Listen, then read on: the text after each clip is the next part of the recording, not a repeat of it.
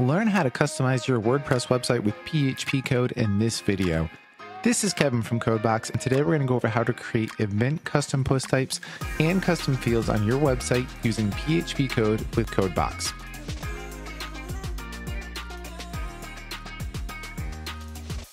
Now, whenever you're creating custom code for WordPress, one of the best places to find resources is developer.wordpress.org/reference. This is where you'll find hooks, filters, actions, anything that you can customize with WordPress, you can find here.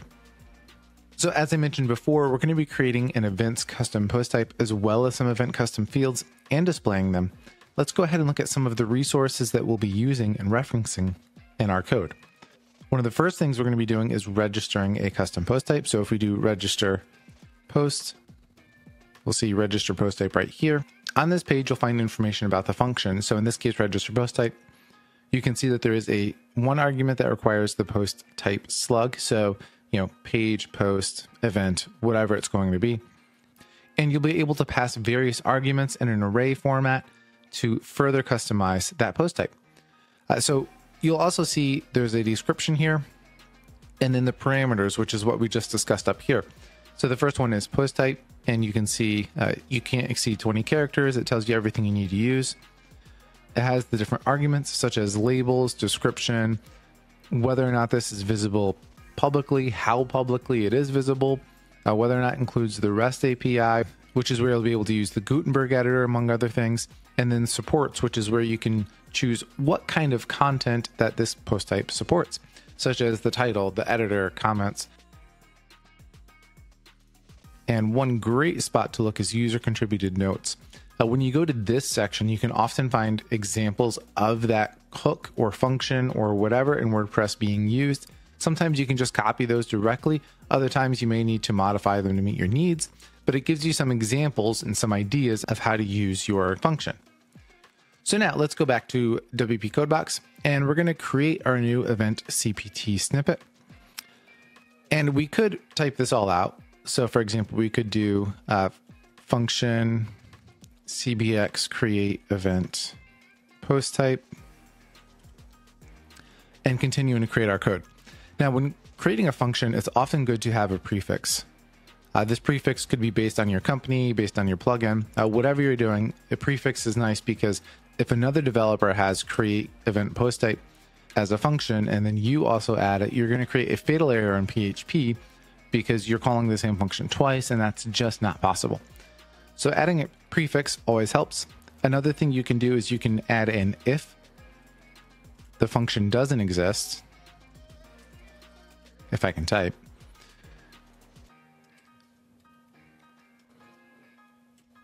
We're going to go ahead and create this function. And what this little if does is it says, hey, this function already exists, so we're going to stop this.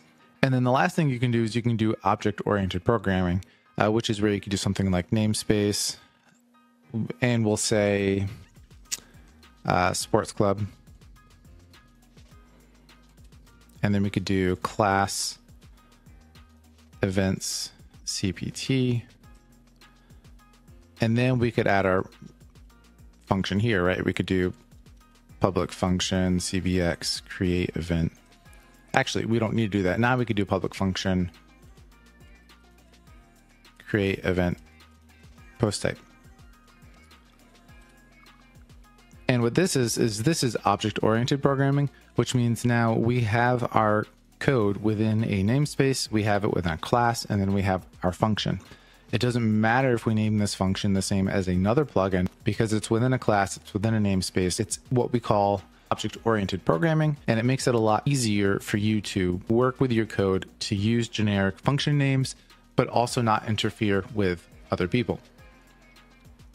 As I mentioned before, uh, we could go through and create our labels and create our, you know, different arguments, but there's a lot of great tools out there already to automatically create your custom post type information. Uh, one such tool is Generate WP. This allows you to do, you know, let's say a post type generator. Let's go general. We can add our function name CBX create event CPT. We can add a text domain. So in this case, uh, we're going to do sports club Our post type is going to be called event name. Uh, we can add a description here. Event post type. Singular name is event. We'll actually capitalize that. Plural name is events. And we're not going to do anything else like this. So we can update our code. And there we go. We can see all the different arguments that we can add to our page. Uh, we can also further customize this by using options. Uh, we can choose what to support. So if we want author, if we want a featured image, uh, we can update our code for that. And now we can copy this and paste it right into CodeBox. So now let's save this and enable it. And now if we refresh the page, we should see our events custom post type, but for some reason it's not showing. Oh, it's labeled as post types, that's why. And that's because our menu name got saved as post types instead of event. So let's go back to labels. And our menu name should be events. This should be event. And we can go for and add more of this, but we're just going to do that for now. Copy this again. Now let's paste this in.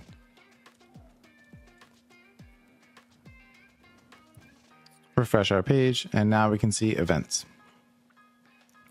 And with that, we can see the different events available to us. Uh, this shows that it supports categories and tags. We don't want that, so let's go ahead and go back to CodeBox, and then we're going to get rid of this taxonomies field. Now let's save this, go back to events. There we go. So we don't have tags and categories anymore. We're going to leave those for posts, uh, but we are going to create our own taxonomy called event categories. We can use generate WP again for that. But in this instance, let's go ahead and use WP Codey.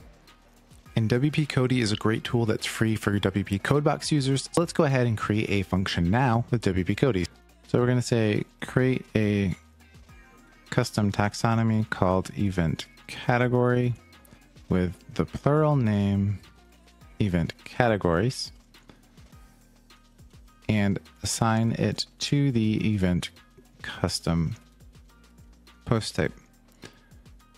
The function should be prefixed with CBX and the namespace is sports club. Now let's generate this. We can see it just created the function for us. So let's copy this now. Let's go back into WP Codebox, create a new snippet, and we're going to call this event category.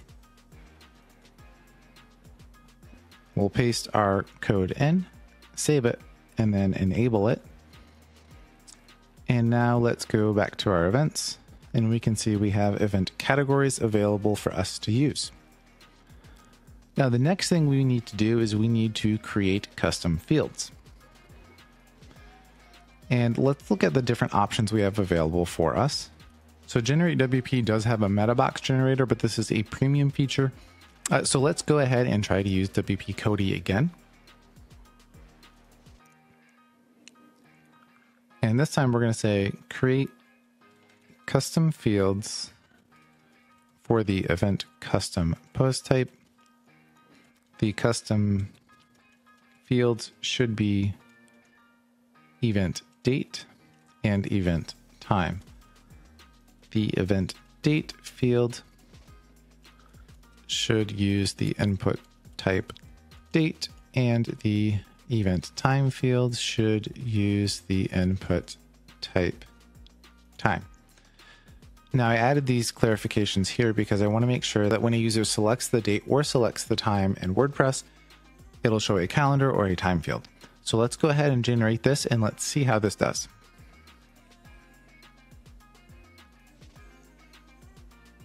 So we'll see that we have a function that adds custom fields and it adds a meta box and it adds event details, which is exactly what we want. We only want one meta box. We don't need two. And then we go to ahead and start to register the fields. Uh, we have event date and event time. And we can see we have a date input type and a time input type. And then down here we have a save custom fields function, which does a lot of the sanitizing the text fields and verifying everything is correct to ensure that no malicious code is being added when we save this. So let's go ahead and copy this function. We're going to go back into WordPress and into WP Codebox. And now we're going to say event fields. And let's paste our code in and save it. Last, let's enable it. And then let's go to our events page. So now if I open up the youth golf, we can see we have an event date, and event time. And let's just make sure everything saves correctly. So we're going to do uh, February 26th, and let's just open up the time here and do, uh, let's do 11.30 a.m. Let's save that and go back into our item and we can see that the event details, the date and time are correct. So with that, we've now created our events, we've created our event categories, and we've created our custom fields. Now we need to display those custom fields. And one of the best ways to do this is to use a shortcode. So let's go back into WP Codebox. We're going to click this generate button here. And you can see there is a shortcode generator already available. So we're going to select that and we're going to label this event time. Now what this does is this creates the function for you but you still need to add the code. So we're going to do CBX event time. CBX event time. We're going to do uh, field is equal to get post field. The first argument we need to pass is the field. So in this case, we are going to pass event time. Oh, we're not going to use autocomplete there. And then we need to pass the post ID. So we're going to say get the ID.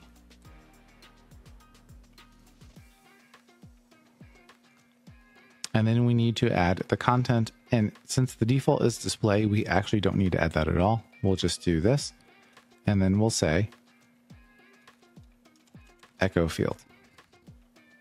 Let's save this. And now let's see if this works. Let's go ahead and rename this really quick, event time shortcode.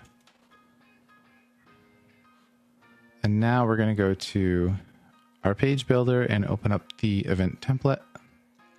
Oh, we need to resave our permalinks. So let's go back into permalinks and let's save that. And a lot of times when you add a custom post type, uh, you may need to go ahead and just resave your permalinks and refresh them.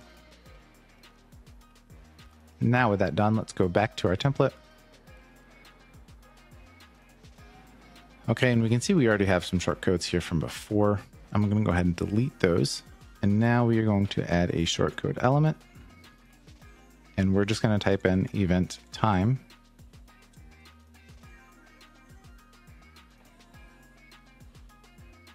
And put that in our start time section. Let's save that.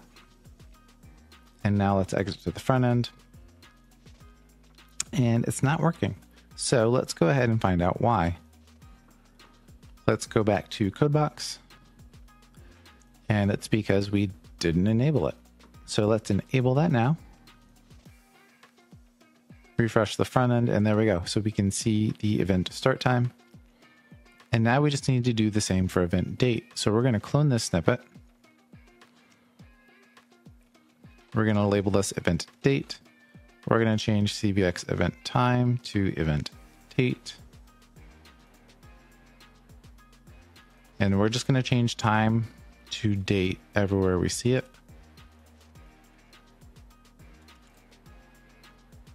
Now let's save this and enable it. We're going to go into here and we're going to add another short code.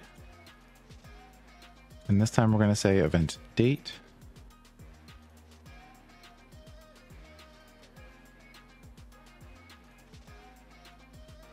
Let's refresh that.